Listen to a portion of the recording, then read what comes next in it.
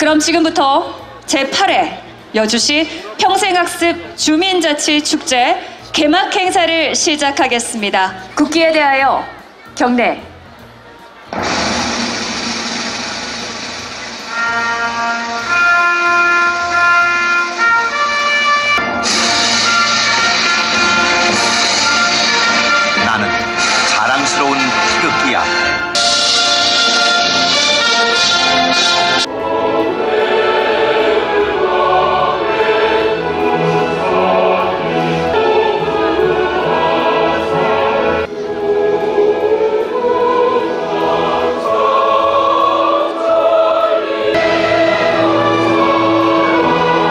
여주 시장 표창이 있겠습니다.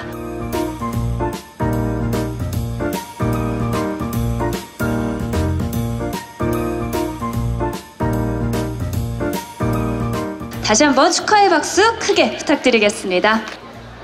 배움과 힘, 행복, 희망 그리고 여주라는 축제 주제와 같이 이번 축제에 참여하시는 모든 분들이 배움을 통해 행복한 삶을 누리고 배움을 통해 희망을 이어가실 수 있을 것이라 믿습니다. 올 한 해에도 여주시 평상, 평생학습 발전을 위해 노력해 주신 모든 분들께 감사의 말씀을 전하며 축제에 방문해 주신 여러분 모두 즐겁고 행복한 시간 되시기를 기원합니다.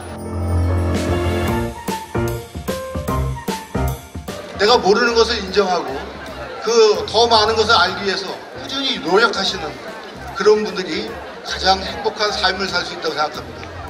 시민 여러분과 함께 즐기시고 소통하고 화합을 중점으로 하는 자리가 되길 바라며 평생학습 주민자치가 여주시 문화 프로그램에 확산돼 큰 역할을 해 나갈 것을 바랍니다. 2023년 연시 읍면동 주민자치 프로그램 경연대회를 개시, 개시를 선언합니다! 평생학습 주민자치 화이팅! 여주시 평생학습 주민자치 다 같이 화이팅! 화이팅!